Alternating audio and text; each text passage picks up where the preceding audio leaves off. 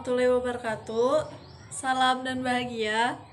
Saya mahasiswa dari Universitas Sarjana Wiyata Taman Siswa. Perkenalkan, nama saya Lia Nur Utami. NIM saya 20 208196. Saya dari kelas 1 A5. Di sini saya akan melakukan observasi dan wawancara UMKM yang berada di sekitar rumah saya. Kira-kira UMKM apakah yang akan saya wawancarai kali ini? Ya sudah, daripada kita penasaran dan menunggu lama, lebih baik kita langsung saja ke tempatnya untuk melakukan sebuah observasi dan wawancara. Oke guys, jadi di sini kita sudah sampai di tempatnya langsung. Jadi kita gak usah nunggu lama-lama lah ya. Kita langsung aja ke dalam untuk mewawancaranya lebih lanjut lagi. Mari guys. Oke teman-teman, jadi kita di sini sudah bersama dengan Bude Baria. Di sini kita akan mewawancara dan mengobservasi lebih lanjut lagi tentang dia berjualan apa aja. Oke, kita mulai wawancaranya.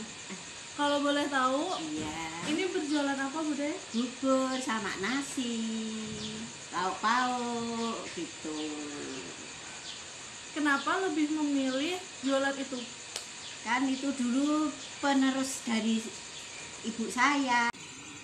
Kenapa lebih memilih berjualan di rumah? Kenapa nggak di tempat lain? Oh, itu sejak dulu itu ayahnya anak-anak itu nggak boleh di pasar karena bisa untuk itu di mengurusi rumah tangganya gitu. Selain ngurusi anak, bisa untuk bersih-bersih kan, untuk apa aja aktivitas di rumah kan bisa di Hambatan apa saja yang pernah dialami selama berjualan?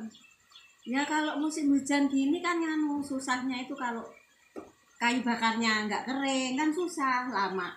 Nah kalau pakai kompor habis-habisin gas dong kan nanti labanya nggak ada. Jadi kayak mengalami kerugian. gitu. Iya cuma pas-pasan aja gitu jadi ya cuma capek aja Sudah berapa lama berjualan ini? Lama ya mbak? Kamu anu udah 2020-an Sekitar 20 tahun. Kalau konsep penjualannya gimana? Apa dipromosiin atau gimana? ya itu kan orang satu ke orang lain pada berbilang gitu. Itu tempat buat debaria gitu. Ada bubur ada nasi gitu. Abangan lagi gitu. Kan baru itu orang desa kan abangan baru ngetren istilahnya gitu seperti itu mbak Hmm. Harga untuk per satu bungkus buburnya berapa? ya warna-warni ada yang minta seribu ada yang dua ribu kalau pakai telur ya tiga ribu empat ribu gitu Oh, jadi bebas tergantung pembeli. Iya, udah di anu aja di apa itu nuk aja. Bahan utama untuk pembuatan bubur apa aja tuh? Beras, kelapa, garam, udah. Udah itu aja. Salam daun salam itu. Ya. Dalam satu hari bisa menghabiskan berapa liter beras yang buat digunakan untuk bubur? Bubur itu satu kilo aja sudah cukup karena kan di sini satu desa itu empat orang yang jualan. Tapi ya alhamdulillah Mbah Bariah itu habis ya. Satu kilo udah habis senang. Nasinya dua kilo aja udah habis senang gitu. Terus juga apakah stok persiapan yang untuk diperjualbelikan itu Iya. habis untuk sehari atau masih tersisa? Oh ya enggak masih tersisa itu misalnya ada orang tuh tawarin itu ada beras setengah kuintal misalnya saya DP separuh bawa setengah kuintal gitu. Itu caranya. Jadi itu enggak untuk satu hari penjualan, jadi masih enggak tersisa. enggak masih ada sisa. Itu Se- Eh, dalam satu bulan bisa menghasilkan berapa keuntungan? ya itu sih enggak enggak pernah ngumpulin cuma untuk kebutuhan aja udah cukup aku senang. Gitu.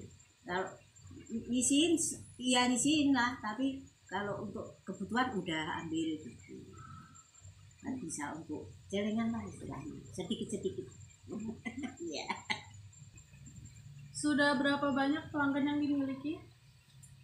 Ya banyak ya tak terhitung kan itu iya kan itu dari sana dari sana sana kan nggak itu istilahnya nggak ajak tuh yang beli. Siapa siapa siapa kan. Kalau yang pasti ya ini sekeliling ini rumah. Kan pasti itu. Ya. Terus kan juga ini kan ada lapangan voli Oh, gedung. Iya. nah itu ada nggak? Kayak beli di sini. Eh, beli di sini. Ada. ada. Ya para ibu-ibu itu yang mengantar anaknya. Ya toh? Iya. terus mampir beli bubur. Ya silahkan gitu. Jadi buat sarapan pagi mereka. Iya. Kan rumahnya jauh tuh. Iya. Parangtritis ada. Itu di gunung itu ada. Jadi ya, belum sempat makan dia. Ke sini ya terus juga eh, bubur ini kan bubur buatan Bude Baria nah Iya. ada perbedaannya nggak sih bubur ini dengan bubur Jakarta? Ada pasti tuh. Jelaskan coba apa sih? Katanya katanya ya mbak itu kan kalau ada yang lebih cuil gitu encer maksudnya. Lah ada yang kurang tanah itu istilahnya kurang matang. Jadi kalau di ditaruh di jalan daun itu lumer dibuka kalau punya mbak di Bariah enggak katanya. Aku kan menurut orang-orang ya enggak biji siapa siapa enggak. Cuman gitu aja. Anu kalau punyaan saya kalau ditaruh di daun enggak ke mana-mana katanya. Jadi lebih kental gitu. Jadi berbeda bubur ini dengan bubur iya, buatan iya, dari orang iya, Jakarta. itu pasti ada itu. Eh, berjalan dari jam berapa sampai jam berapa? Bangunnya apa? Oh jangka waktu berjualan. Iya. Jam apa itu? Jam 5 jam 7 udah habis. Udah habis. Iya. suka dukanya dalam pem- penjualan ini apa? Selama ini suka dukanya? Ya itu kalau musim hujan itu ya sering habis sering enggak kan biasa tuh orang jualan di rumah. Tapi kalau musim panas terus anak-anak pada sekolah itu kurang malah sering tuh. Jadi suka dukanya itu aja? Ya Eh, modal awalnya itu bisa menghabiskan berapa rupiah? Hmm, itu cuma nggak dua ratus aja udah cukup. 200 iya. Tapi dengan modal awal itu bisa kembali lagi nggak? Kembali, Kembali. sih. iya dan nanti kalau ada sisa ya untuk makan kalau enggak ya ada sisa uang toh. Bisa disimpan gitu buat kebutuhan yang lain ya toh buat beli bensin gitu.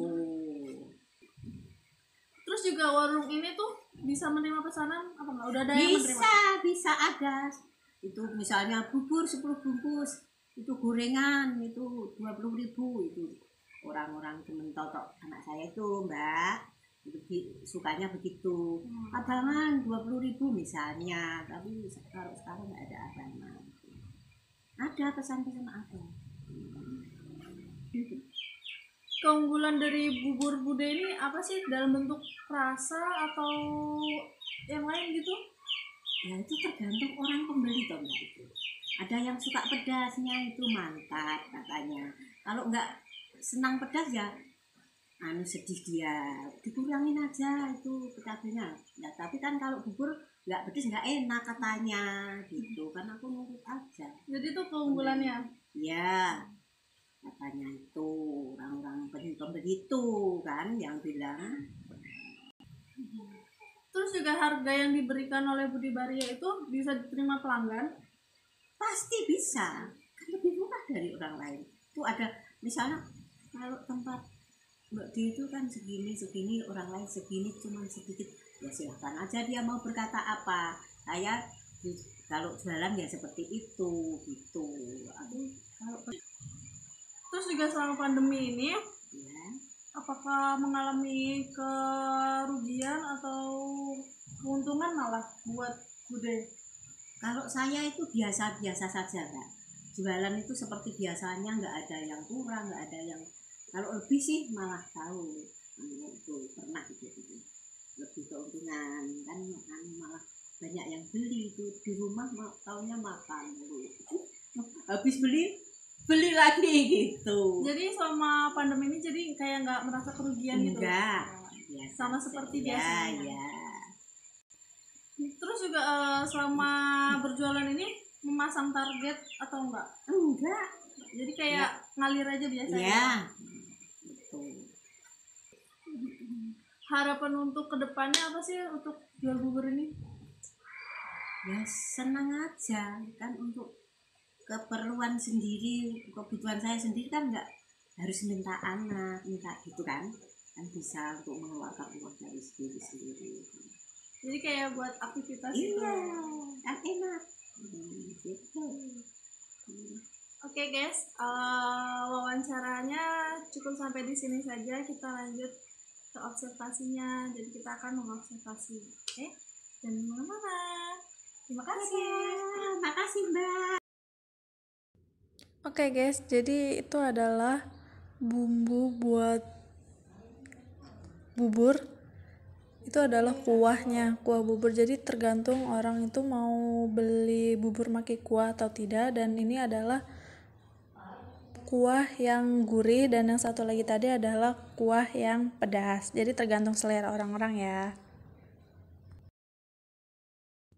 Selain ada bubur, di sini juga ada gorengan. Terus juga abangan juga tersedia, ada bacem juga. Jadi tergantung kalian mau mesennya apa.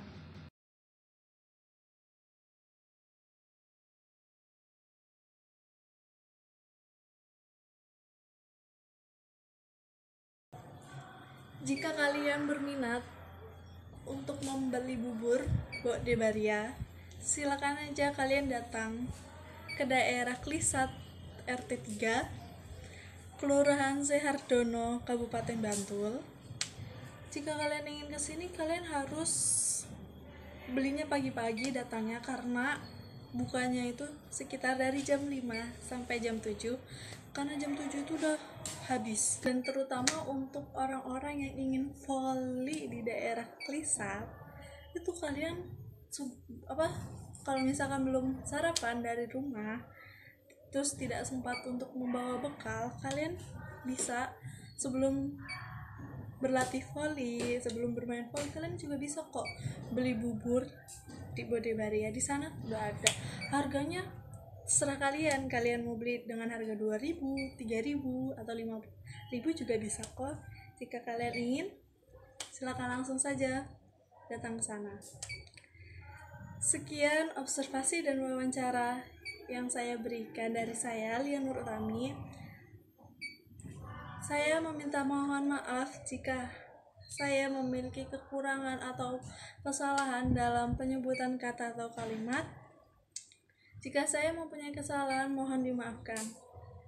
Sekian video wawancara dan observasi dari saya. Saya tutup dan saya akhiri. Assalamualaikum warahmatullahi wabarakatuh.